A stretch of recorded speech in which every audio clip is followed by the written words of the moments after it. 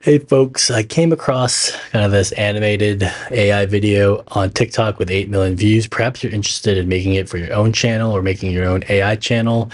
Or like me, I like kind of seeing what I could do to showcase some of my travels. I just got back from Italy trip um, and now I'm showcasing here, kind of stitching together some of the scenes on a tram gondola ride.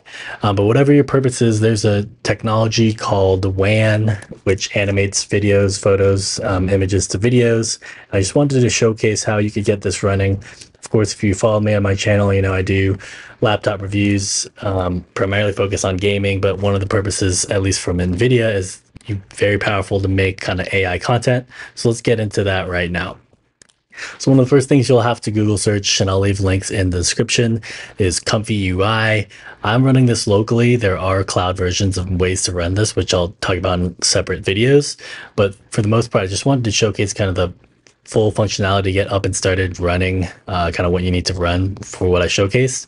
So when you click on the side on the left, there's a way to get started with a template. If you search WAN, there's WAN, WAN, first and last image. So when, the nice thing about Comfy is that once you load it up, it literally kind of um, tells you everything you need to download. Um, so once you get it all downloaded, um, there is a tweak that I personally use in terms of running on my RTX 4080. I can't support uh, kind of getting fully uh, loading the diffuser model. So you run basically worse versions, and if you double click, you could open a window called GGUF. Once you download the appropriate um, Again, I'll leave links. Don't worry. Um, but you simply just kind of connect everything. So everything's based on this workflow type thing where it's drag and drop and then connect boxes with lines. And I know okay, it's not confusing, but the most important parts are basically just downloading the, these files, which are basically um, quote unquote lower quality versions. And I find that my RTX 4080 can run kind of the most uh, like eight gigabyte file. Um, so then kind of from there you know there's a lot to look at. I'm just going to kind of showcase in my opinion the most important parts. You could load these images. You just quickly upload image um, for the first image and last image of what you want to do. And then you try to describe how the the, the it's going to be a five second video running at 16 frames per second kind of how that runs. There was this helpful link that i found um, and I'm still tweaking and learning, of course, how to exactly prompt everything I want to, but I, you'll see later in this video, doesn't always work as well. Um, I actually had it better when I posted on Instagram. Now I'm recreating the video after the fact. But the idea is that I, you know, I'm trying to recreate is that it's like a, a drone or a, a, they call it like fly cam transition. I saw someone on Reddit post this. Um, but anyways, you'll see here, um, you know, really what I wanted to get from this scene to the next scene is like flying over, you know, my wife on the right, get, heading towards the building, and then the building morphs into a gondola. It's kind of, you know, I had it. I, don't exactly remember the exact prop I did.